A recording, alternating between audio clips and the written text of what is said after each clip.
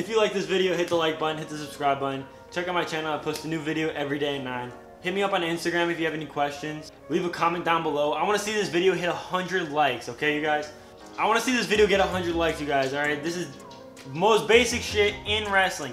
Hand control is like some of the most important shit and it is vital to you getting up and out or making sure that someone doesn't like just making sure someone doesn't control you, okay? This was like quickest way that I would get like ragdolled in when like I would wrestle the best people that I've ever wrestled, okay?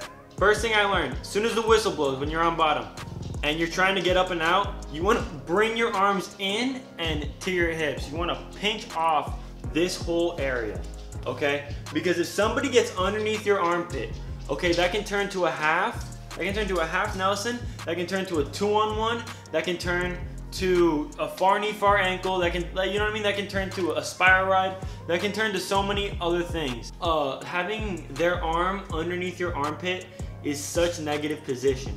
And likewise, if you're on top, you wanna get underneath their armpit as quickly as possible. If it's a cross hook, you know what I mean? If it's a Western hook, if it's like, like, like, if it, no matter what it is, no matter what it is, if it's underneath the armpit, it is, that is good news. That is good news. Try to hold, try to hold someone down from bottom, just holding the outside of their arms. Let, let you can do whatever you want. Just don't get underneath the armpit. You know what I mean? Hold on to both of their wrists and like just blow the whistle. Try your hardest. All right? Try your hardest and they try their hardest. I can promise you, like, you are not going to be able to, unless you get legs in and you get like, you know what I mean? Unless you get legs in, you get a Western hook or, did I call this, did I call this a Western hook? I'm an idiot. You know what I mean? If it's a Western hook, this is a spiral ride. This is a spiral ride.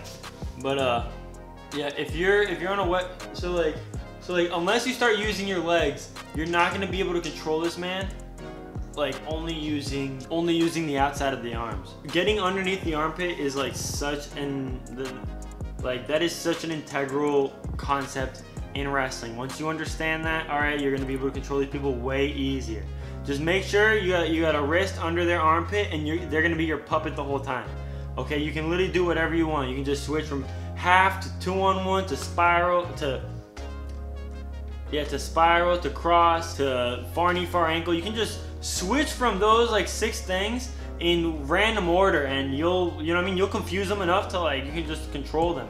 Okay, so when you're on top, you want to be underneath the armpits. When you're on bottom, you want them outside of your arms okay? If you liked that video, you found it helpful, leave a comment, hit the subscribe button, hit the like button. Uh, I post a new video every day at 9, so check me out. I'm gonna get a monitor and a desk and I'm gonna start streaming live match reviews, so tune in for that. I'm gonna do it immediately after I post these videos. So until next time, I'll see you guys.